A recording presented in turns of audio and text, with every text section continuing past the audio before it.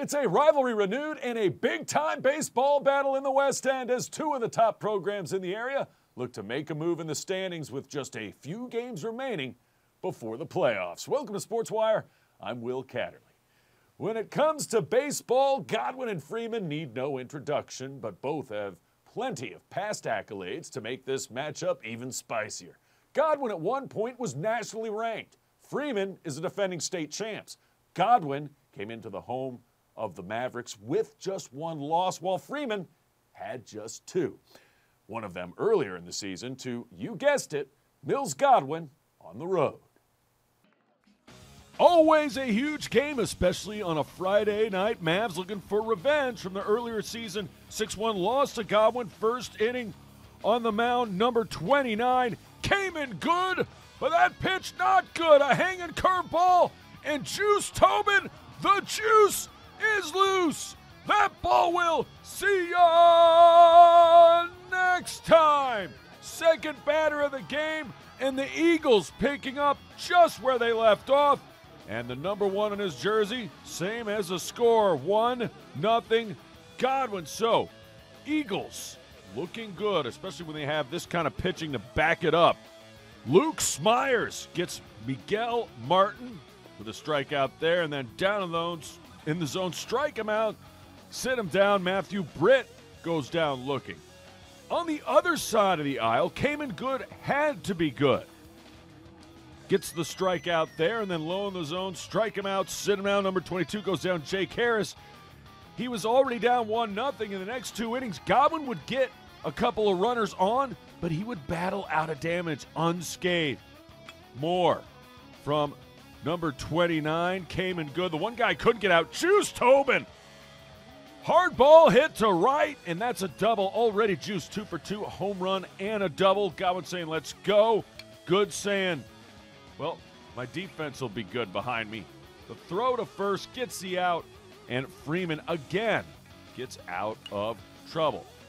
Mavs, though, could they get some runs on the board themselves? Breaking through on this pitching staff, Luke Smyers, not easy to do. That'll help. Number 11, Nolan Rail gets on. The lead of this, Miggy, Mighty Martin, knocks that one all the way to the welcome to Kenmore Field. One run scores, and Freeman, all of a sudden, behind the bat of Miguel Martin, has tied it up at one. Following a walk, Freeman's got ducks on the pond, first and second and third. Bases chock full of Mavs. It would lead to this. Ground ball up the middle. Doesn't get through the infield, but it works for a base hit. One run in. Second run comes in to score. A big knock by Jonah Herbert. They call him the Big Hurt Herbert. And yeah, the Mavs are stoked, and they should be down 1 nothing. All of a sudden, 3 1 lead after three innings of play. Back to good, who was more than good, especially after the first inning. Strikeout high. Cheese gets Dylan Hudson. Right there, swinging a miss, strike three. Good was not good. He was not great. He was fantastic. On the other end, bats kept coming alive. Miggy Martin, a single. Freeman trying to add on to this 3 1 lead. Later, would lead to this. Small ball, champions do it. Smyers trips a little bit, loses footing. That means they're both safe. They were just trying to move the runner over. Now it's first, second, and third bases Full of Mavs once again. They go to the bullpen to the Eagles. Ball four. Hunter Ross would come in. That would force in a run on the walk. Miguel Martin scores.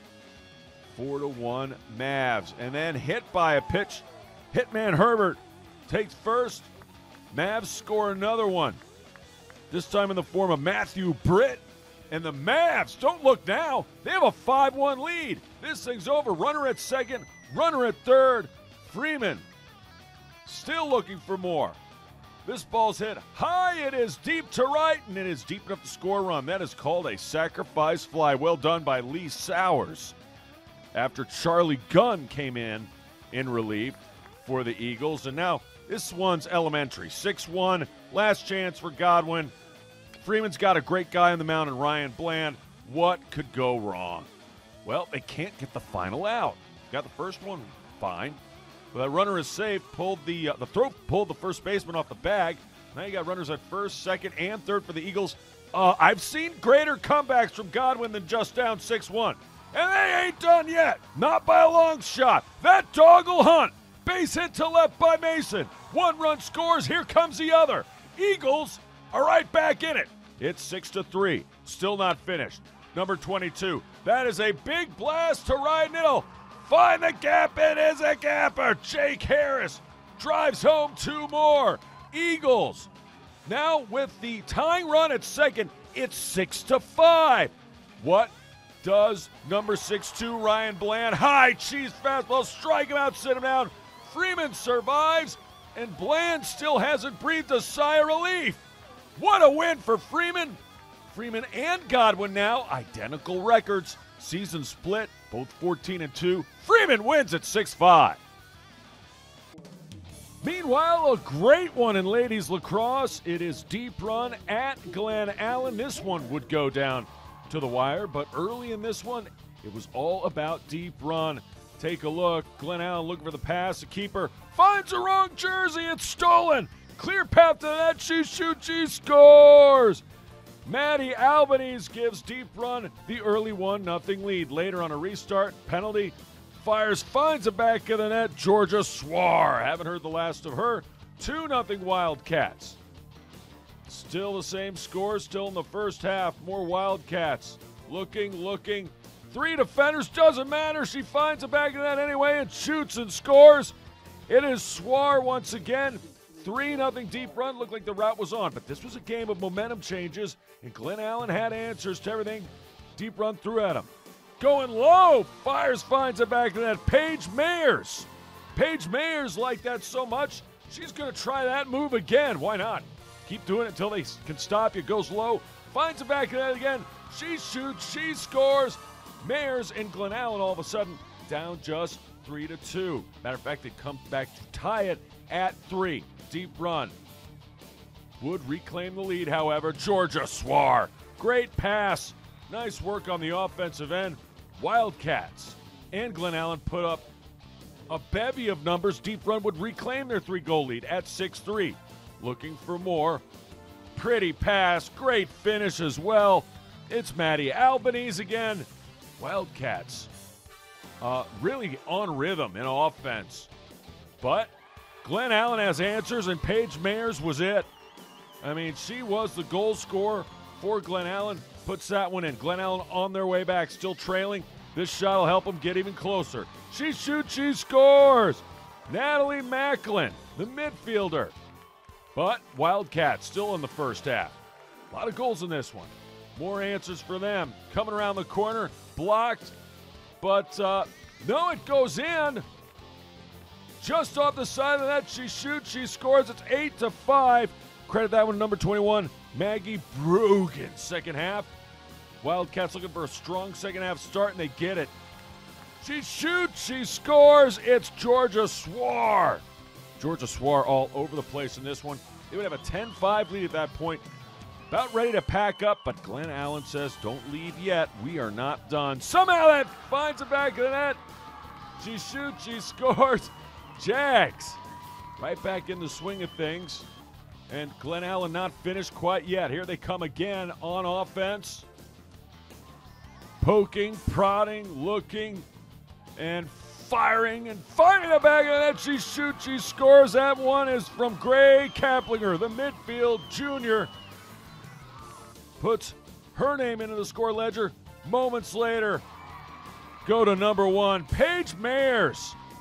Glen Allen, once down 10 to 5. A chance here to get close to even. It's blocked, but the ball does cross the net. So the Jags come almost all the way back, and all of a sudden they're just down 11 to 10. A chance to tie it right here, but oh, just lost the ball. Huge moment there that would have tied it at 11. Instead, deep run's going to get it, and they're going to finish it. Pass inside. Easy squeezy lemon peasy.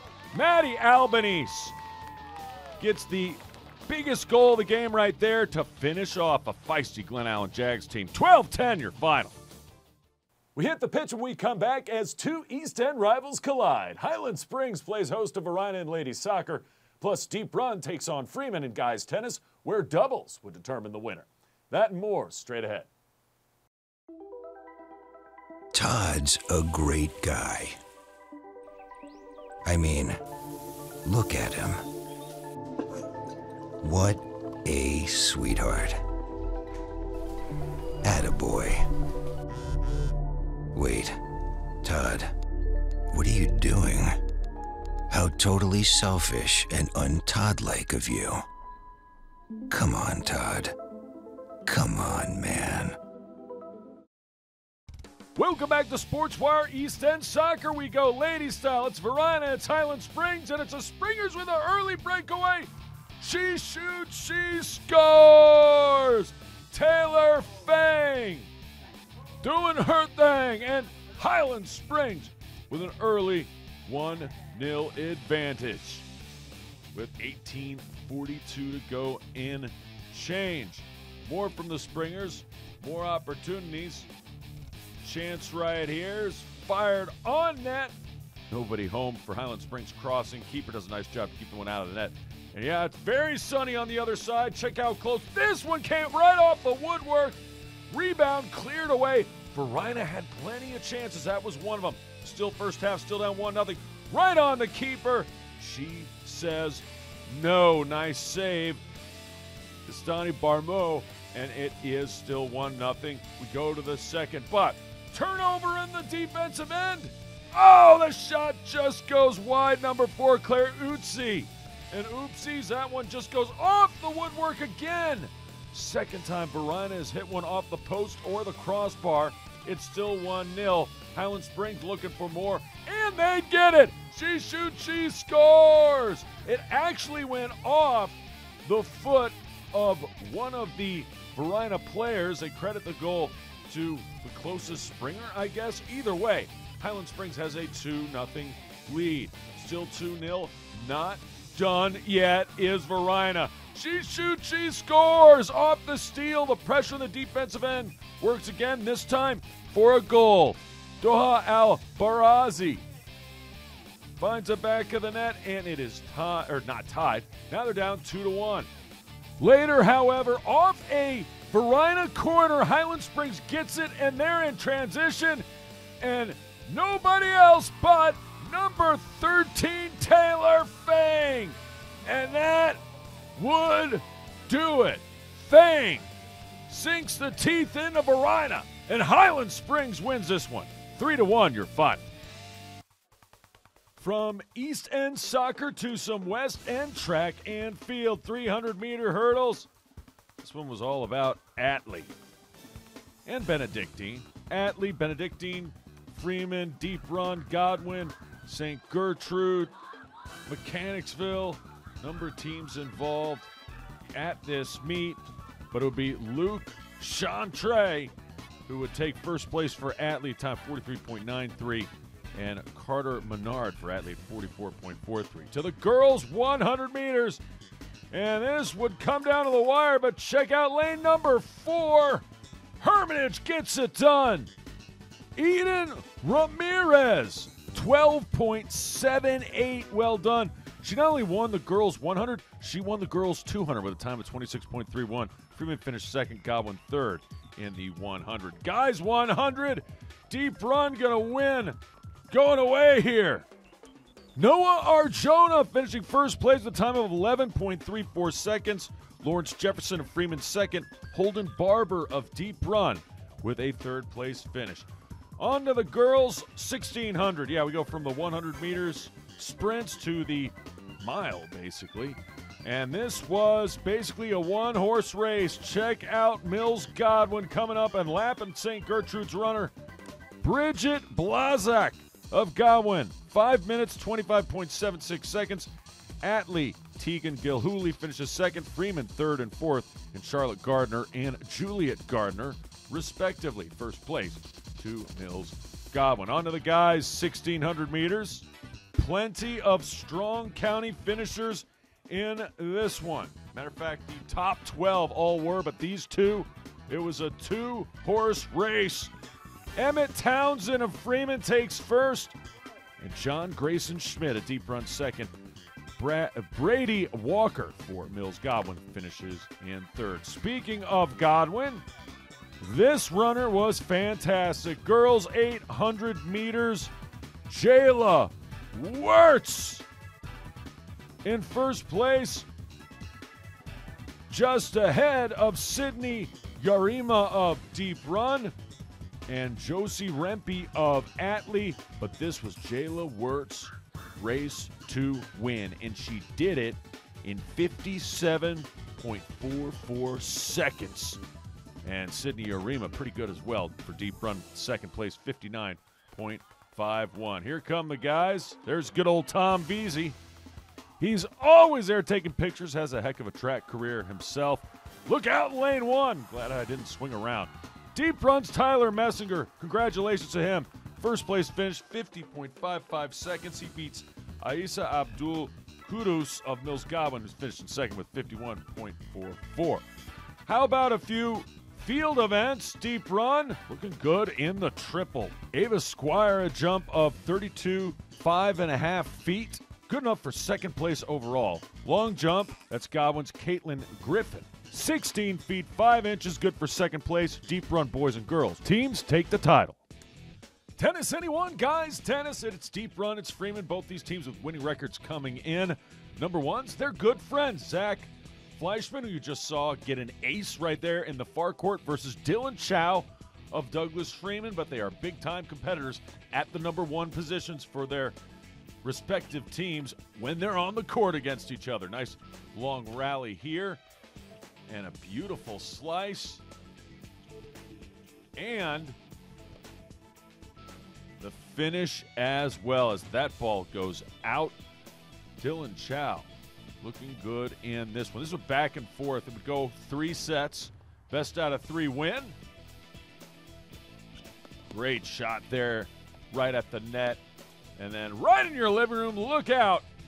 Point Wildcats. More from the number ones. These two were great. I could have sat here all day, but it would just be these two I'm showing highlights of. So I didn't do that. I moved. That ball is out. Point Fleischman, but Dylan Chow gets the win overall 4 6 6 3 10 7. So Freeman, a nice start from the number ones. Number twos, Grant Kruzma in the front court. You see there in the blue for deep run. That's point for him. Taking on Daniel Lim in the far court doing the serve. Lim, top spin action. That's in your living room as well. They're playing to the camera, these guys. I'm telling you what. Again, great play at number twos as well. Lim again on the serve. Back and forth we go. Strong battle between these two as well. Off the front of the net. And again, going for the winner right at the camera. Daniel Lim against Kruzma gets the win 6 2, 7 5. Now, this is where things turned around at number three in the front court. Can't quite get to that one. Is James Anderson, Mr. Anderson, taking on Andrew Lee, you just saw right there. And Anderson on the serve. Remember, Deep Run lost one and two, but at number three, that's when they started their comeback. And uh, shots like that would help. That one goes long. James Anderson falls to Andrew Lee, seen serving here. Andrew Lee going to get the first win for Deep Run on the afternoon. This game played at Deep Run at home for the Wildcats. And back and forth these two would go. This group of three, or the third group, I should say, that ball goes long. Again, Andrew Lee with the victory. Was just the start of things to come for the Wildcats. As we'll get to the number fours in a minute. Great shot here, though. I had to show this one. Winner, winner, chicken dinner. Anderson, but again, he loses 6 3, 6 1. It was the things that were going to start coming for the Wildcats, uh, harbinger of good things to come, I should say. Aiden June of Deep Run taking on Jake Johnson of Freeman in the far court. Johnson can't get to that one. You see Deep Run win number three, and then in number four, it would be Aiden June in the front court getting the win against Jake Johnson 6 1, 6 1. They would go on to win at number five as well. So they win at 3 4 and 5, does deep run. They would lose six. Freeman's Mr. Martin would take that one, but they would win all three doubles matches and win this one 6 3. Well, we head to Glen Allen when we come back as the Jags have a wild one with Manchester in softball, and the upstart Lady Tucker Tigers get a test from Maggie Walker in ladies soccer. That's next.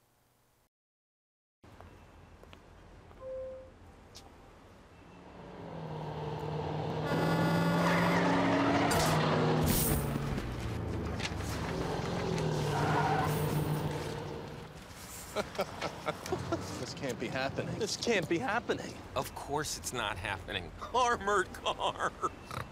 Listen, having money isn't about luck. Make your own coffee, save a thousand bucks a year. Feed me. Feed the pig. Welcome back to Sports Wire. How about some crazy softball action? Glen Allen at home against Manchester. Bases full of Lancers. Tharp gets a great play from her shortstop to complete the throw to third and getting the double play. Uh, and uh, this Manchester team, they could hit the softball. So can Glen Allen. Bottom one, Maeve Hahn drives home a run with a stand up triple. No doubt. And Glen Allen on the board up 1 nothing. More that came from infield shot, the throw to first in time, but it goes as an RBI ground out as Hahn crosses home. And there'd be more where that came from. Still in the first. Wild pitch. That scores number five, Kaylee Garner. And just like that, Glen Allen has a 3 to nothing lead. Tharp back in the circle. Tharp was sharp against number 13, Taylor Hendrick. I think she struck her out three times. Look out! That almost hit me in the face. Thank goodness for the fence. In the second, though, runner comes home to score there. And then the boom stick all the way to the wall. Here come the Lancers. One run scores, and it's an RBI double for Manchester. They were not finished, at least according to the center fielder, they were. Nice looking play by Alyssa Mihard. And uh, Lancers plate two in the second, so it's three to two. Bottom half. Here come Glen Allen again. That's a base hit. That dog will hunt. Two runs come in to score. And here come the Glen Allen Jaguars once again. The two bagger by Tyra Christian makes it five to two. Okay, I hope you're keeping score at home. Lancers would not stop hitting. That's a gapper. All the way to the wall. Number 23 doing the honors.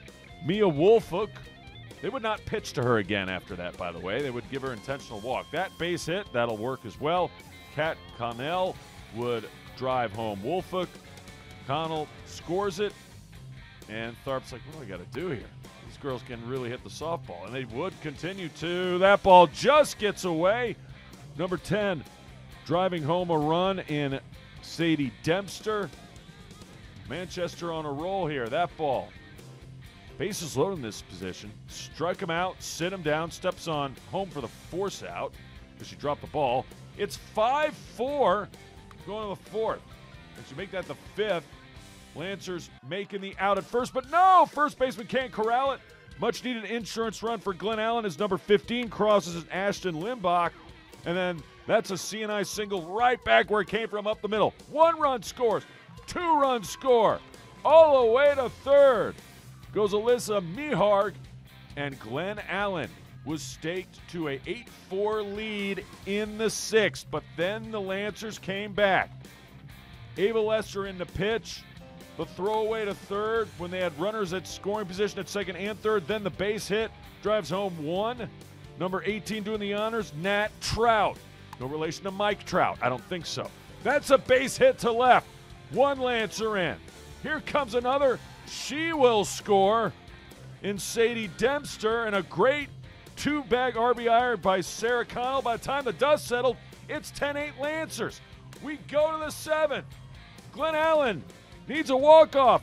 Tyra Christian, that ball will see ya next time. Solo shot gets Glen Allen within one. It's now 10 to 9, but they're down to their final out.